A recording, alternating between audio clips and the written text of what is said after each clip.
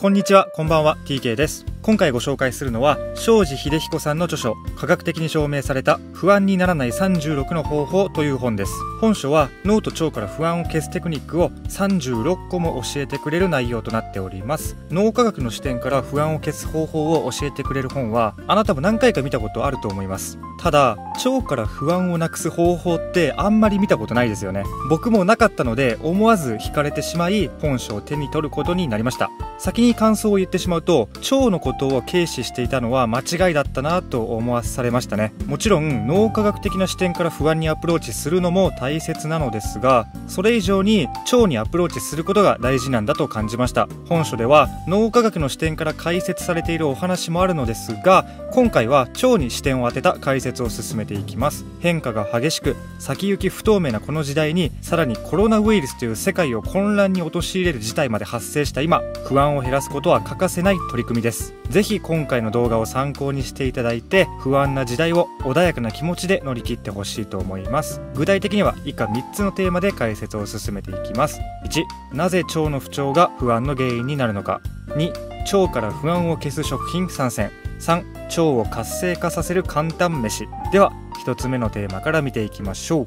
1なぜ腸の不調が不安の原因になるのか。まずなんで腸の不調が不安の原因になるのか。この疑問から解き明かしていきます。結論から言うと幸せホルモンは腸で作られるからです。この事実意外と知らない人多いと思います。僕も本書を読むまでは幸せホルモンが腸で作られるなんて知りませんでした。ここで言う幸せホルモンとはセロトニンやドーパミンのことです。セロトニンは安心感や平常心。ドーパミンはやる気の向上に貢献するホルモンとして有名ですよね。まずこの幸せホルモンは腸で合成されます。次に腸から脳に運ばれて僕たちの感情に作用するみたいです。このように脳と腸がお互いに作用し合っていることを脳腸相関と言います。最近やたら腸に関する本が多くなってきたなと思っていたのですがその要因は脳腸相関という考えが注目され始めたからなのは間違いないです。じゃあなぜこんなにも脳と腸には密接な関係があるのか。そこには生物学的な理由があります。実は生物に初めて備わった臓器は脳や心臓ではなく腸なんですよ。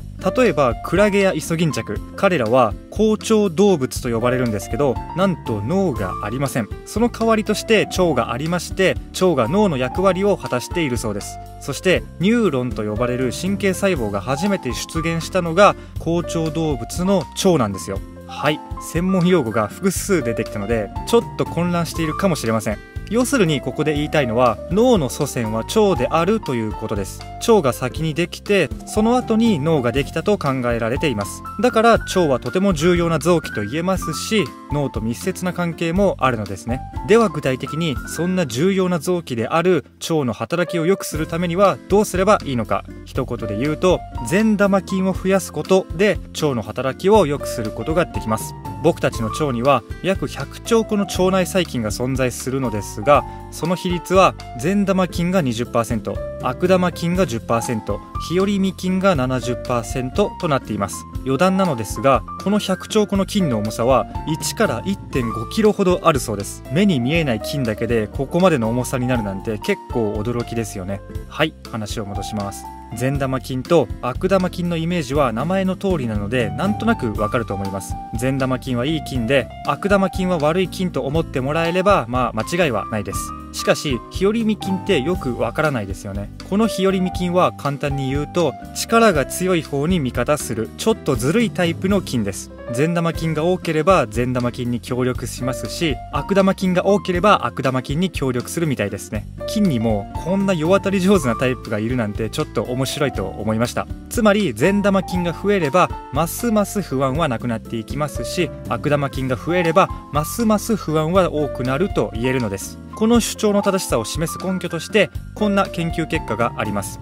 国立精神神経医療研究センターの久木博さんの研究グループはうつ病の患者43人とうつ病ではない57人の腸内細菌を比較する調査をしました。するとビフィズス菌や乳酸菌の数がうつ病患者は明らかに少ないことが明らかとなりました。ただうつ病になったから善玉菌が少なくなったのか善玉菌が少なくなったからうつ病になったのか結局どっちが先なのかという事実は現在も研究中です。しかしセロトニンやドーパミンは腸内細菌によって腸から脳に運ばれているという事実がありますので善玉菌を増やす努力が不安を減らすことにつながる可能性は高いと思われます。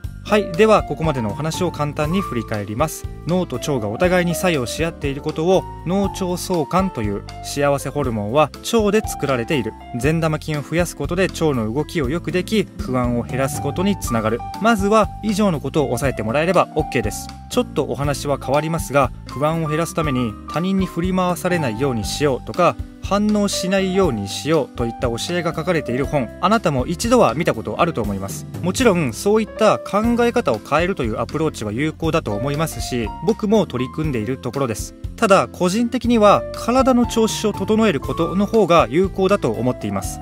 体の調子が良ければ不安になることが発生しても受け流せたり受け入れられたりするものです。逆に体の調子が悪ければポジティブなことが発生しても幸せを感じられなかったりしますからね。次のお話はそんな体の調子を整えるというアプローチになりますのでぜひ聞いてほしいと思います。はいでは次に実際に腸の善玉菌を増やす方法について解説を進めていきますね。誰でも簡単にできる方法だけをご紹介しますので是非日常生活に取り入れていただいて不安を減らしていってください。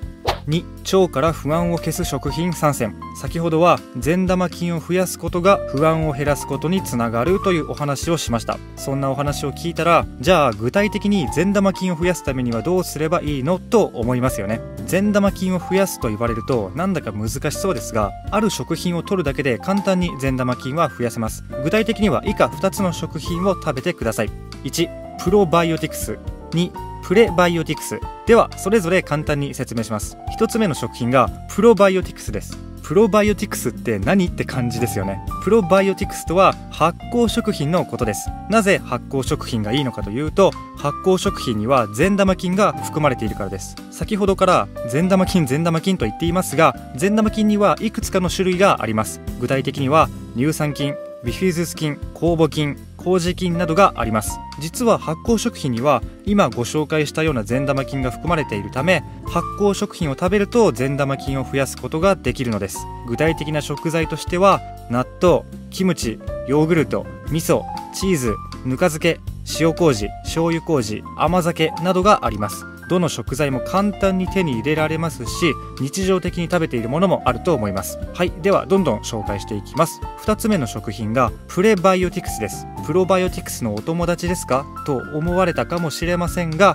全く関係はありません。ただ名前が似ているだけです。プレバイオティクスとは食物繊維のことですね。なぜプレバイオティクスがいいのかというと善玉菌の餌になるからです。善玉菌も僕たちと同じ生物ですから当然餌を必要とします。ます。そしてその餌となるのが食物繊維というわけです。ただ食物繊維なら何でもいいわけではありません。食物繊維には水溶性食物繊維と不溶性食物繊維の2種類があり善玉菌の餌となるのは水溶性食物繊維になります。具体的な食材としてはわかめ昆布こんにゃくオクラ里芋果物大麦などがあります。どれも簡単に手に入れられますが意識しないと食べることが少ないかなという印象を持ちましたね。そこで本書を読み進めていたら日本人は水溶性食物繊維の摂取量が少ないということが書かれていました。なので水溶性食物繊維は意識して摂取する必要がありそうですね。はいここまでが善玉菌を増やす食品のお話になります。ただ善玉菌を増やすだけでなくその働きをサポートする食品も取る必要があるんですよ。では次にその善玉菌の働きをサポートするのに欠かせない食品をご紹介します。はい最後にご紹介する食品はオメガ3脂肪酸です。まあ厳密に言えばオメガ3脂肪酸を含む食品ですね。オメガ3脂肪酸とは主にアルファリノレン酸 DHA EPA という成分で構成されている脂肪酸でしてまあ簡単に言うと油のことです。ではなぜオメガ3脂肪酸が善玉菌をサポートすると言えるのか。少し長くなりますが説明させていただきます。僕たちの体は約37兆個の細胞によって作られています。その一つ一つの細胞は実は油で覆われているんですよ。そしてその油が不足してしまうと全身の細胞膜が硬くなってしまいます。するとですね思考や感情などを伝達するシナプスの動きも硬くなってしまいセロトニンなどの幸せホルモンを脳に行き渡らせることが難しくなってしまうのです。つまりいくら善玉菌を増やした結果として幸せホルモンが増えたとしてもオメガ3脂肪酸が不足するとその結果を脳に伝えられないということですね。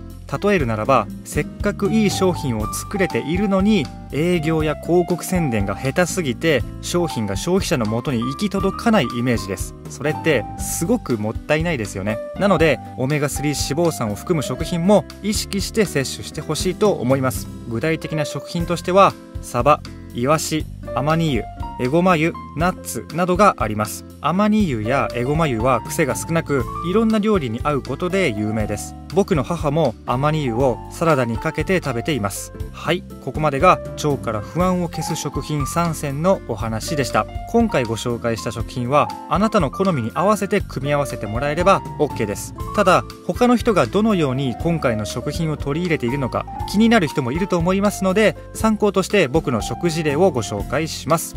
3腸を活性化させる簡単飯。僕は余裕がある日はこの画像のような朝食をとるようにしています。納豆キムチ味噌汁ヨーグルトがプロバイオティクス。味噌汁の中のわかめがプレバイオティクス。サバがオメガ3脂肪酸を含む食品ですね。この朝食は簡単に用意できますし安いですし何より美味しいです。どんなに健康にいい食事でも結局は美味しくないと続かないですよね。なので僕は美味しさという視点は相当に大事だと思っています。是非自分なりにでいいので美味しくプロバイオティクスプレバイオティクスオメガ3脂肪酸を摂取する食事を習慣づけてほしいと思います。また僕がおやつに食べているのはミックスナッツです。ナッツはオメガ3脂肪酸が含まれていますしアーモンドには食物繊維や鉄分が含まれています。このようにミックスナッツは健康にいいおやつと言えますし何といっても美味しいのが嬉しいです。やはり美味しくないと続きませんからね。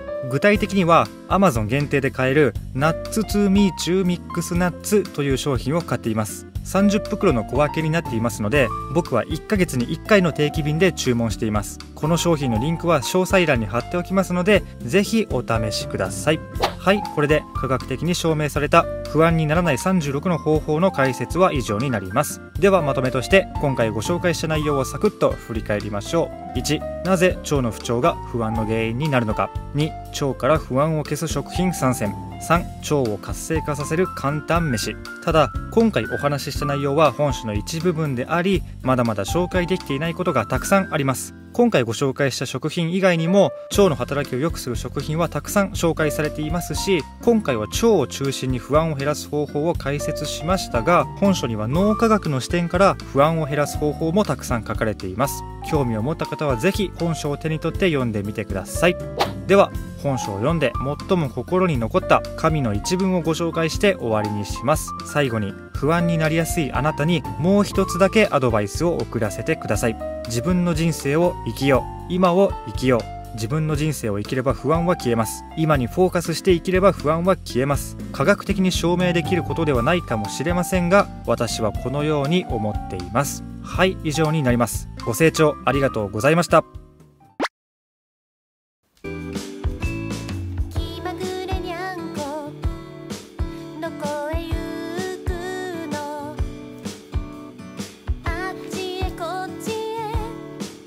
かしま